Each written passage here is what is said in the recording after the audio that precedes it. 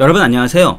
이전부터 외국인과 국내 사람들에게 문화 탐방이라는 명문화에 있어 왔던 템플스테가 있는데요. 이것은 절에 얼마 동안 머물면서 절에서 하는 예불이나 백팔배나 참선 등을 하는 일들입니다. 그런데 이것을 크리스찬들도 하고 있다고 합니다. 오늘은 템플스테이에 대해서 저의 영분별을 통해서 영적으로 말씀을 드리도록 하겠습니다. 결론적으로 말씀을 드리면 템플스테이는 절대로 해서는 안 되는 일입니다. 어느 진보신학대학 종교학과에서 종교 탐방을 목적으로 그 과의 학생들과 더불어서 신학과의 학생들도 동참하는 일들이 있습니다. 그리고 목사라는 사람이 교인을 데리고 템플스테이를 다녀오기도 합니다. 네이버나 구글에서 템플스테이라고 치면 기독교인이 템플스테이를 다녀와서 작성한 내용들도 나옵니다. 그렇다면 과연 템플스테이는 우리들의 삶에 어떠한 영향을 미치는 걸까요? 인간적으로 생각할 때 절에 가서 며칠 있는 것 뭐 그리 큰 대수겠어? 라고 생각할 수 있지만 템플스테이를 하는 동안 영적으로 완전히 사망에 이르게 된다는 사실을 우리는 알아야 합니다. 그리고 하나님으로부터 오는 축복의 문은 완전히 닫히게 되고 그 문을 열려고 하면 성령의 충만함으로 다시 회복을 해야 됩니다. 그러나 성령의 충만함이 약하게 되면 회복이 느려지고 그만큼 삶이 망가지게 됩니다. 가까스로 힘들게 회복할 수 있는 부분도 있겠지만 어찌되었던 이것은 쉬운 일이 아니라는 것입니다. 어떤 분은 이렇게 말할지도 모릅니다. 나는 가기 전하고 갔다 온 후에도 똑같은데요. 템플스테이 해도 괜찮아요.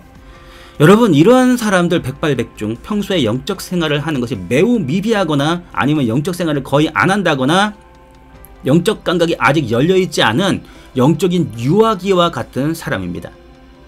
영적으로 열린 사람은 자신이 템플스테이를 가기 전과 간 후에 영적인 파괴가 얼마나 일어났는지 반드시 알게 되어 있습니다. 영적인 파괴의 삶에서 하나님의 축복의 문까지 닫혀버리기 때문에 이것은 매우 막대한 손실을 입는다 하겠습니다. 그렇다면 어떻게 이러한 일이 일어나는지 영적으로 파헤쳐 보도록 하겠습니다. 먼저 종교의 영 중에서 불교의 영에 대해서 알아야 합니다. 불교는 예로부터 내려온 종교이고 중국과 인도에서 매우 왕성합니다. 그렇듯 그 불교의 영이 약하지 않다는 것을 인지하셨으면 합니다. 불교의 영은 절대 약하지 않습니다. 물론 성령님에 비하면 아무것도 아니지만 말입니다. 그러나 성령께서 각 사람이 그의 영 안에 담고 있는 영령만큼 역사한다는 것을 이해할 때 이 불교의 영을 절대 관가할 수 없다는 것을 우리는 이해해야 합니다. 사단은 귀신이라는 존재를 영화나 낙양 특집, 소설이나 이야기를 통해서 두려운 존재로 부각을 시켜 두려움으로 사람들을 얽어맵니다. 또는 기독교인들에게 악령의 존재가 아무것도 아니라는 식으로 주입을 시켜 신앙의 과장됨을 통해 악령의 역사에 대해서 기독교인들의 방어가 허술하게 만든 틈으로 그 삶을 망가뜨립니다. 자신에게 역사는 악령을 예수님의 이름으로 내쫓는 것과 불교와 같은 종교로 결집된 악령들의 결집을 무너뜨리는 것과는 매우 차이가 있습니다. 그냥 예수의 이름으로 나가라고 외친다고 악령들이 모두 복종했다면 아마 전 세계 기독교 외에 그리스도교 외에는 아마 없을 것입니다. 그러나 현실은 그렇지 않습니다. 왜 그렇습니까? 영은 영으로 대적해야 되기 때문에 그런 것입니다. 군집을 이루고 있는 종교에 역사하고 있는 악령은 성령의 충만함의 결집을 통한 조직적인 영적 대결이 있어야만 하는 것입니다. 그럴 때 그 지역이 정결하게 되어 악령의 진이 무너지고 평강이 깃들게 되는 원리입니다. 저는 부처님 오신 날 차를 타고 신림동 사거리 근처를 지나고 있었습니다. 때는 저녁이었습니다. 멀리 보이는 건너편 찾길에서 부처님 오신 날의 행렬이 오고 있는 것을 보았습니다. 앞에서 영의 형상을 하고 있는 것이 불을 품고 또 다른 조형물들이 뒤따르고 있었습니다. 불을 환하게 비추는 몇 개의 조형물 앞뒤로 사람들이 줄을 지어서 등을 들고 따라가고 있었습니다. 그런데 어느 정도 가까이 가는 순간 건너편 행렬로부터 매우 강력한 악령들이 마치 강력한 바람이 부는 것 같이 오더니 저의 심령을 강타했습니다. 길 건너에서 제가 있는 곳까지 그리 가까운 거리가 아니었습니다. 그럼에도 불구하고 악령들은 저를 향해 곧바로 돌진해서 저의 심령 안으로 사정없이 들어왔습니다. 저는 심하게 헛구토를 통해서 악령들을 몸 밖으로 배출시켰습니다. 저는 그들을 허락한 일이 없습니다. 그러나 그들은 마치 적군에게 폭격을 하듯 저를 공격하여 영을 다운시켜버렸습니다. 저는 너무나도 놀라 어안이 벙벙하였습니다. 불교에서 역사한 영이 그토록 강할 것이라는 것을 생각하지 못했습니다. 이것은 일반 성도가 감당할 수 있다거나 대충 영성 생활을 한다거나 기도하지 않는 교회가 감당할 수 있는 그러한 영이 아니었습니다. 진정 성령이 충만한 교회만이 감당할 수 있는 영이었습니다. 저는 그 행렬에 어디에서 이 악한 영들이 날라왔는지는 완전히 알 수는 없었습니다. 다음에 우연히 봉천동의 한 절을 지나가는데 그날도 부처님 오신 날이었습니다. 절의 마당에 행렬 위에 용의 형상과 탑 형상들이 있었습니다. 그런데 악령의 역사가 감지되더니 좀 더 지나가다 보니까 그 안에 타고 있는 1m 정도의 소형 불상 3개가 있는 것을 보았습니다.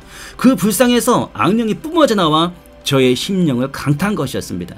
지난번 같지는 않았지만 그래도 영적으로 타격을 입어 심한 헛구토를 통해서 악령들을 촉사해야만 했습니다. 여러분 물론 절마다 영이 역사하는 것은 다 다릅니다. 그러나 예불을 계속해서 드리고 종교 행위를 많이 하거나 악령이 좋아하는 것을 많이 하는 절의 악령의 역사는 매우 심각합니다.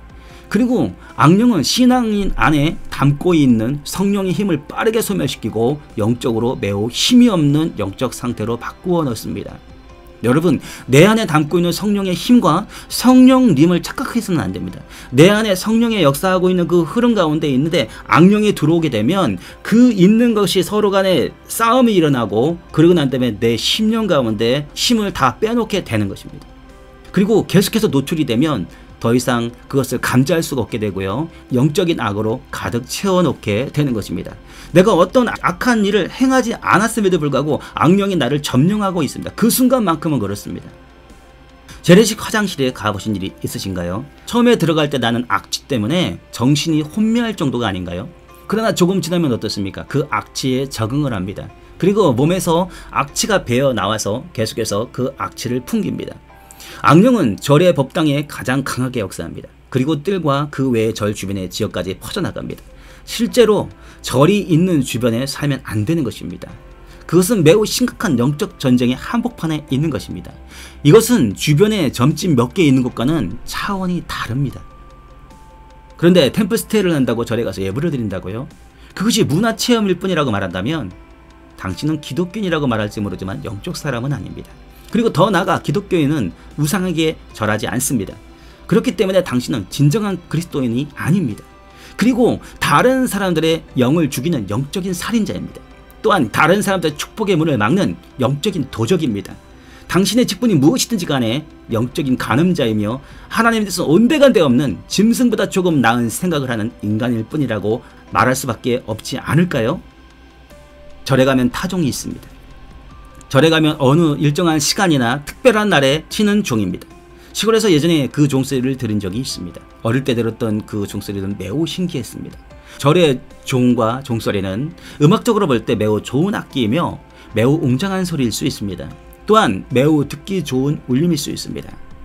그러나 매우 심각하게 알아야 될 것은 그 종소리는 악령들의 이동 수단이 된다는 것입니다. 어떻게 그렇게 되느냐고요? 스님은 예불을 하며 악령이 몸에 배입니다. 그리고 절의 주변은 악령들이 공기 중에 떠 있습니다.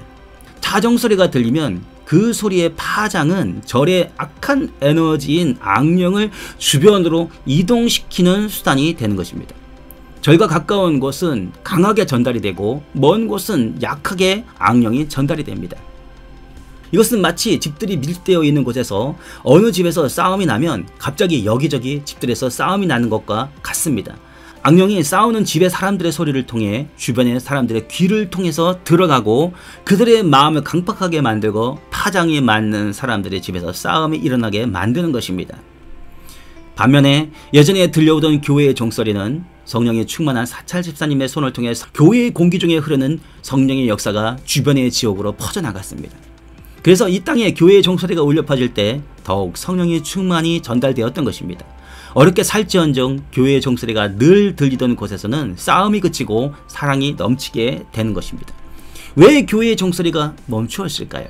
시끄러워서인가요? 사단이 교회의 종소리를 들으면 못 견디기에 그렇게 한 것은 아닐까요? 교회의 종소리는 다시금 회복되어야 합니다. 요즘 교회 예배를 금지한다고 하면서 통성 기도를 금지합니다. 여러분 묵상으로 기도하는 것도 성령의 역사가 있지만 통성으로 기도할 때 그 기도를 통해 더 강력하게 성령이 교회의 사람들과 주변으로 퍼져 나가게 됩니다. 그래서 주변이 더욱 성령이 역사하는 쪽으로 바뀌게 되는 것입니다. 마귀는 통성 기도를 매우 싫어합니다.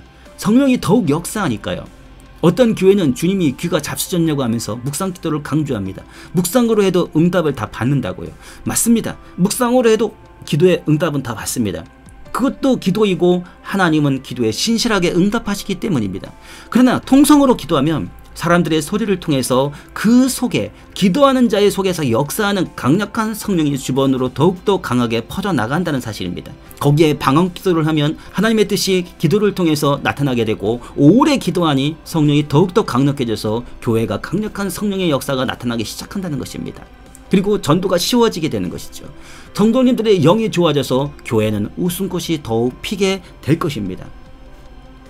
여러분 절의 목탁 소리를 통해서 성령이 전달되겠습니까? 악령이 전달되겠습니까? 당연히 악령이 전달되는 것입니다. 그런데 그리스도인이라는 분들이 템플스테이를 통해서 목탁 소리를 들으며 예불을 드린다고요? 저는 불교인이 적이라고 말씀드리는 것이 아닙니다. 불교의 역사는 영에 대해서 영적으로 분별하고 지적하는 것입니다. 불교의 덕목이나 그 외의 다른 부분을 폄하하고 싶은 생각은 추호도 없습니다.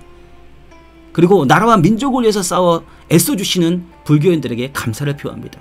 그럼에도 불구하고 영적인 부분 어쩔 수 없이 말씀드려야 함을 이해해 주시기 바랍니다. 자 그럼 마지막으로 절밥에 대해서 이야기하고 마치도록 하겠습니다. 여러분 절하면 밥입니다. 절밥이죠. 왜 절밥인가요? 어려울 때 절에 가면 밥을 주니까요. 그래서 절밥이 유명한 것입니다. 저도 절에 가서 밥을 먹은 적이 있습니다. 만나더군요. 여러분 절에서 일하시는 분들이 절에 예불을 드린다거나 스님이라거나 한다면 그것은 매우 심각한 일이 되는 것입니다. 제가 종각에서 일을 한 적이 있었습니다. 그 주변의 절에서 밥을 먹으면 2천원이면 먹습니다. 그래서 많은 사람들이 절에 가서 밥을 먹습니다. 저에게도 가서 밥을 먹자고 했습니다. 그런데 저는 가지 않았습니다. 여러분 이 밥을 먹어야 하나요? 배고프면 먹어야겠지만 영적으로는 매우 큰 손실을 일으키게 되는 것입니다. 그것은 만드는 자가 이미 영적으로 악령에 감염된 상태이거나 절의 주변까지 역사하는 악령의 영향권 안에 들어가 있는 곳에서 만들어지는 음식에 악령의 기운이 스며들기 때문입니다. 영적이지 않은 사람들은 그것을 느끼지 못하지만 영적인 사람들은 그 음식을 먹는 순간부터 영적 전쟁이 시작되는 것입니다. 음식을 타고 들어가는 악령의 기운이 역사하기 때문에 벌써 통로가 열린 것입니다. 속이 미식거리다거나 콧구역질이 난다거나 매우 영적으로 안 맞는 것 같은 그러한 느낌들이 들게 될 것입니다. 여러분 이것이 매우 심각한가요? 영적인 세계의 움직임은 이것보다도 더 심각한 것들이 있습니다. 너무 샤머니즘적이 아니냐고요? 여러분 이것은 실제적으로 일어나는 일입니다. 여러분 지옥에 대해서 생각해 보신다면 지금 이야기하는 것은 영적 세계에서 아무것도 아닙니다. 그리고 주님이 알게 하시는 것은 때때로 받은 은사자에 따라서 샤머니즘보다도 더 자세할 때가 많습니다. 주님의 능력은 샤머니즘을 넘어갑니다. 영분별로 드리는 이 말씀을 통해 여러분들의 신앙에 조금이라도 도움이 되고 지킬 수 있었으면 좋겠습니다. 절대 템플스테이 하지 마세요. 안 됩니다. 영적 사망이요. 천국의 문이 닫히고 영적 축복의 문이 닫히고 지옥의 문이 열리게 하는 일입니다. 유명하다는 사람이 해도 어느 크리스찬이 줬다고 해도 템플스테이 절대 하지 않기를 영적으로 권면드립니다. 사랑합니다. 감사합니다.